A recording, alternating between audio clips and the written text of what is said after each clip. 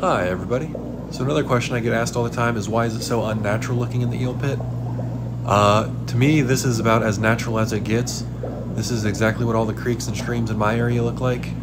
Gravel bottom, big rocks. Uh, the eels burrow right through the rocks. This is how the eels have been living for the last year.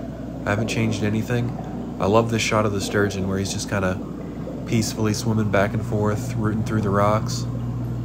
Yeah, I didn't raise the depth. I didn't change anything. This is exactly how the eels have been living for the last year.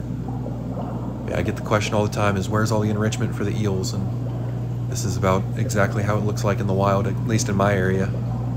Uh, the eels span pretty much all over eastern North America, so they definitely live in environments like this in the wild. Yeah, these sturgeon are just amazing. I haven't had any active fish in here, so watching these guys kind of gracefully just all the time swimming around is amazing to see. Thanks for watching.